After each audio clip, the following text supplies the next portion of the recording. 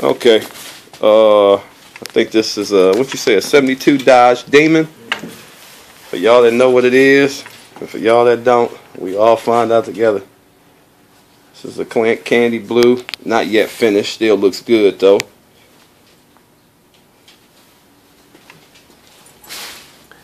Yeah, he flaked up. Let me see if I can turn my uh, phone light off. I don't know how to do all that just yet. You messing with these new toys. But you see it. You see how it work here. Like I said, Brew City's finest. Platinum Auto Sports and Accessories, y'all.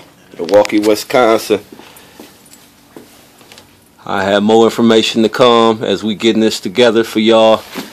You know, so you can send your vehicles, you know, send your money and get wet. You know, you got to take pride in your job. It's the only way it's going to come out right. Take pride in it. Not knocking none of y'all good painters out here because there's a lot of good wet boys, but we got one of the wettest boys in the city. And as of right now, he's somewhat still undiscovered, so hope y'all ready.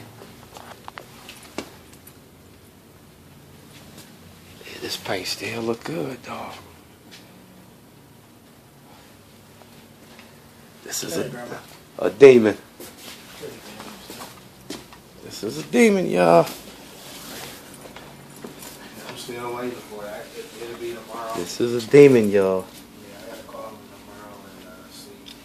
Because they told me for seven to nine days, so that's what I'm working.